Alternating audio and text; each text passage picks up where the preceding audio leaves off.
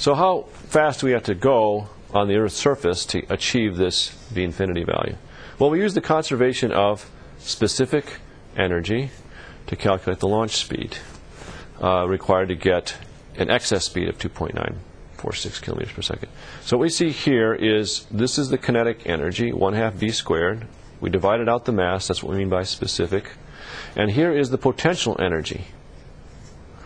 And for a Newtonian gravity field, the potential energy is includes this minus sign. It's minus mu over r. So you add these two together, you add 1 half v squared plus minus mu over r. And this number must be conserved.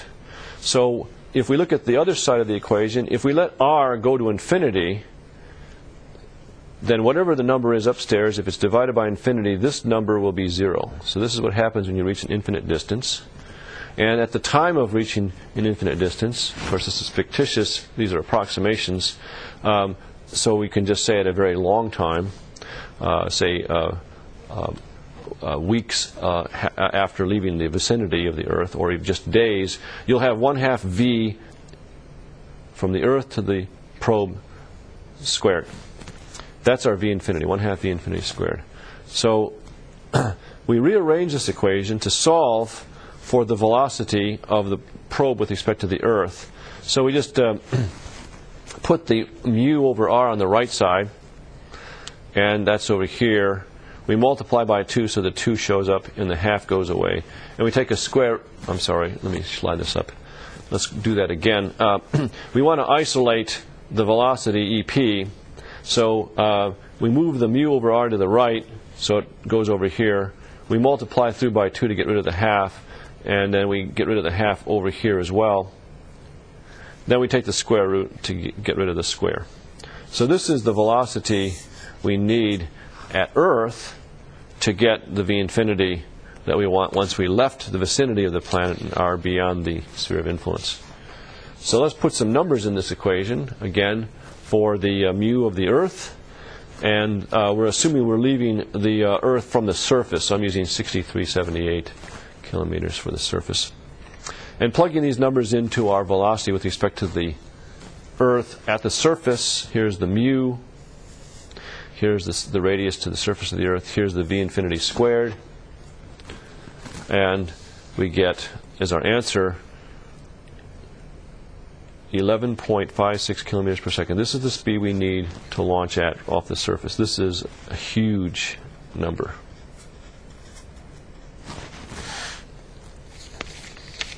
But it can be done. Now, what are our arrival conditions at Mars? we're traveling from the Earth. Now we're just considering the gravity of the Sun for the moment. And we get out here. We want to know what is the approach speed as seen from Mars. Well, you have the velocity of Mars with respect to the Sun, VSM, and you have the velocity of the probe with respect to the sun, VSP. And the difference between these two vectors is the velocity with respect to Mars. And so that is basically this difference here. And that gives us v from Mars to the probe, or v infinity. Another way to do it is to write v from m to s. That means the sun with respect to Mars, which seems a little strange and then the velocity uh, of the probe with respect to the sun. So we have v from m to s, from s to p is v from m to p. And we can reverse m and s and put a minus sign here. So we have velocity of the probe with respect to the sun minus the velocity of Mars with respect to the sun. And that just shows you how this notation works. All you really need to understand here is it's the difference between these two velocities to get the v infinity of approach.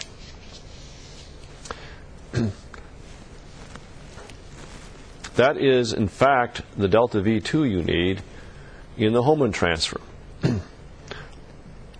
in order to not crash into Mars, you need to get rid of that delta V2. So let's, uh, let's compute what that delta V2 is using the second uh, burn of the Hohmann transfer, square root of mu over R2 times the quantity 1 minus the square root term. That's our V infinity. It's the v infinity of approach at Mars. So plugging in equations 2 through 5, all these numbers into equation 16. Here we have, again, this is the mu of the sun.